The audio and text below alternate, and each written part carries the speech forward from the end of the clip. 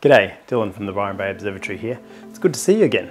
Uh, you know what I miss? I miss the wide stuff. I've been doing like all this very long focal length stuff, getting in really close to targets. And uh, you know, I miss just a wide patch of space.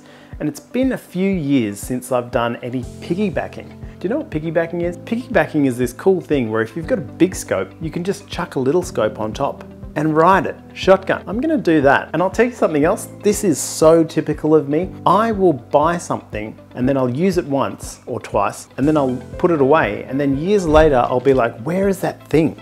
Where's that thing that I bought that time? And then I'll buy another one because I just can't find it in my piles of stuff. Anna, I know you laugh when you come into my office and you see all of my stuff, but it's good stuff. I'm not a hoarder. You're not a hoarder if your shit's really cool. I've been thinking for a long time that I needed a new adapter to do this piggyback. This is the Celestron sort of universal piggyback adapter, so you can put a camera on there, but it just doesn't have the stability that I need to put something bigger than just a small camera on this. This camera here onto my big C11 telescope. And then it dawned on me, I can just use these. I've had these sitting on the guide scope and the guide scope I haven't been using for a long time because I switched off-axis guiding. So I can slide this onto the dovetail at the top of the scope and then I can put anything into that. I love this. So I'm gonna give it a go. Hopefully this works. My name is Dylan O'Donnell and you're watching Star Stuff.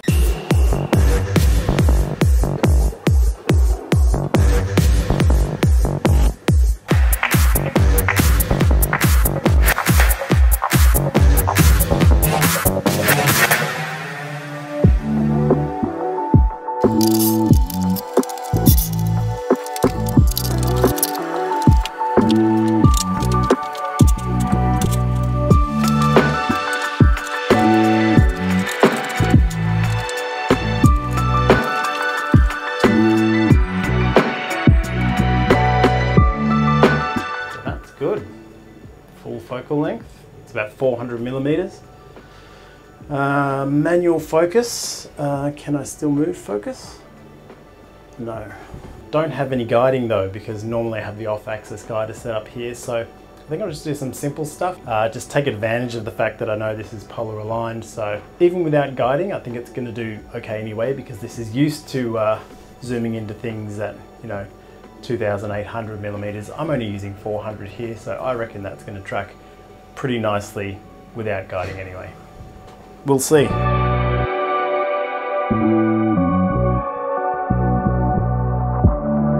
When was the last time you bought yourself something? Not your kids, not your significant other, but you. Are you looking after you? If not, you should buy something from High Point Scientific. You know you're into this hobby, you want something else, don't you? Whether it's a focuser or a new camera or a piggyback adapter, High Point Scientific has got you covered. They are a New Jersey astronomy warehouse that has pretty much everything you want. All brands, they have no specific interest in pushing any particular thing, they just want to help you out with your astrophotography. And they have a price match guarantee, so really there's no reason to go anywhere else. Tell them I sent you, that's probably really annoying, or use the links down in the description so I get some money because I want to buy something for myself. That's www.highpointscientific.com. Now, this went pretty well. My first light test was sort of okay. I mean, I got some data, but I realized when I went out there, this problem that I had. I'm at this period of the night sky at this time of the year, things are pretty blank. The Milky Way is setting over the western horizon. On the other side of the sky, the Orion Nebula and the whole Orion region is rising, but it's blocked by my house, so I can't see it. So above me at the zenith, there's really a whole lot of nothing. Uh, which left me in a bit of a pickle. I did try the Corona Australis Nebula, this dark nebula, just as a proof of concept to see if this worked, and I learned a few things, so I'm gonna go through them with you. When connecting the DSLR to Nina, uh, you don't need to install any additional drivers. Canon and Nikon are both supported, as well as all these other cameras, which is good, but you will need the Canon camera turned on and plugged in with USB in order for it to show up in that driver list so you can select it.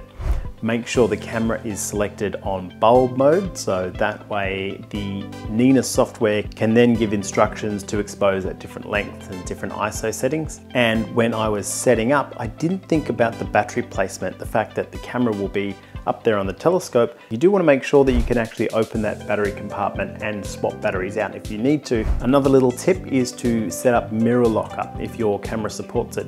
Just put a second or two in this setting in Nina so that if you have a mirrored camera, it flips the mirror away. When that happens, there's usually a little bit of vibration. So mirror lockup will flip the mirror and then wait a second or two before actually starting the exposure. So that just gets rid of any little shaking in your setup there. Uh, I stopped down the aperture. You have to do this on your DSLR before you connect to Nina. So actually go into the settings and change your aperture. I didn't set the lens all the way down to 5.6, which is what it can go down to, because I found that that produced a little bit of coma in my stars. So I stopped this down to about seven, I think. Unfortunately, after stacking my first light data, I realized that there are donuts. And not the good kind of donuts. The bad, bad kind of donuts. I knew that the data was not great, so I took the time on the next night to really dial it in. And to do this, because it is manual, because you do have a lens on your camera that you need to physically turn up and down, I used the HFR readout in Nina so that I could see on screen what those values were and sort of like finding the V curve, you manually go one way, see the number climb, you go the other way until it starts climbing in the other direction, and then you go back to the middle to get that lowest HFR half flux radius number as you can. And from then, my data was okay. So then I had to pick something in this blank sky that was actually gonna leave me with a result. You know what I picked?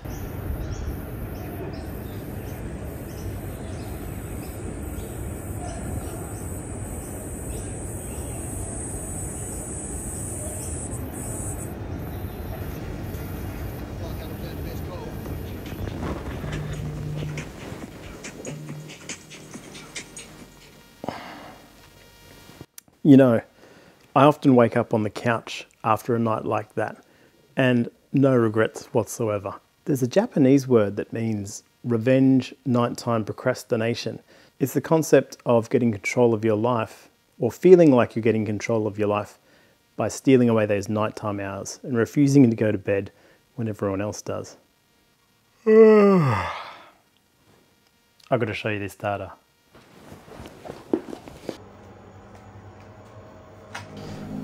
This is how the telescope ended up last night, just to give you an idea how low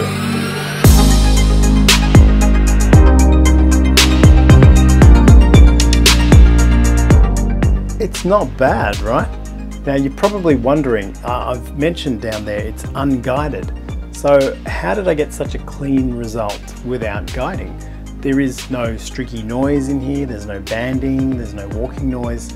Uh, it's because I'm dithering. Another little final trick, you can use the direct guider in Nina so that if you're not guiding, it still sends dither pulses through to the mount and dithers between each frame. So there you have it. I managed to steal your girl, Andromeda Galaxy, from the Northern Hemisphere all the way down here in Byron Bay which is always an achievement. Uh, it's not the greatest photo, obviously it doesn't compare to uh, the stuff you guys are doing up in the Northern Hemisphere, but it is a result and it is piggybacked. It was actually blowing a gale last night and the setup is so big and so rock solid that the lens had no wobble whatsoever. So I'm pretty happy with this result and uh, hopefully you got something out of this little experiment. My name is Dylan O'Donnell, you've been watching Star Stuff, and remember, Everything is meaningless, and we're all going to die.